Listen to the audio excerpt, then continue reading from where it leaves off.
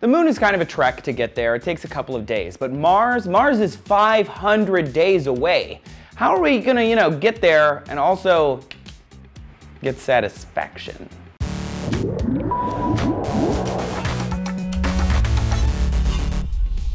Hey humans, Trace here, revisiting Sex and Space for your DNews Weekly Space Update. Eight months ago, Lacey explored the actual mechanics of sex in space. If you haven't seen the video, check it out. But to break it down to brass tacks, it is not an easy process. When questioned, NASA's official position is there has never been a single reported act of astro intercourse. The Inspiration Mars Foundation, however, is looking to send a married couple to encircle Mars in 2018. So I think we can all assume that they're totally gonna shtup. But then what? Let's say they have the sex in space. As Lacey pointed out, it's not the easiest thing to accomplish. Without the pull of the Earth's gravity, sex can be extremely difficult. Not to get too graphic, but as there's no friction, a single thrust attempt could send the couple flying.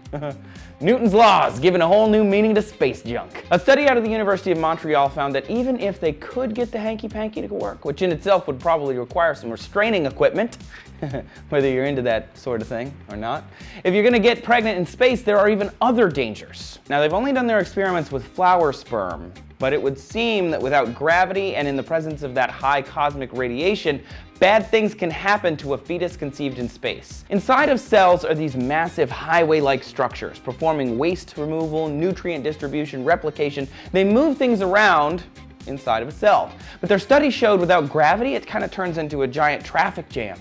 Nothing moves properly, which could cause birth defects, brain diseases, cancers, and other unforeseen problems in an organism as complicated as a human.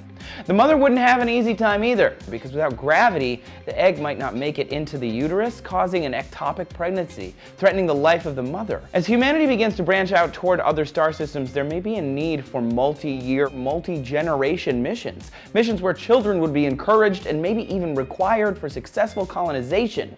To take it one step further than that, birth is not exactly the cleanest process. And currently, space isn't really the most hospitable way to grow a tiny human into a full-grown adult. Without gravity, the body of an infant would develop very differently from Earth, not only in the womb, but as they grow.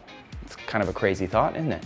The easy solution is to get some spinning ships to create artificial Earth gravity in space. That would alleviate some of these problems. Long story short, sex in space is difficult. Pregnancy in space is dangerous, and we didn't even mention how cosmic radiation might mess up a developing fetus sort of puts a damper on our space future, that is for sure. So what do you think? How are we gonna get our progeny to other star systems? Celibacy for years? no. Ideas, people? Let us know in the comments and subscribe for more D News because you know you don't want to miss a thing.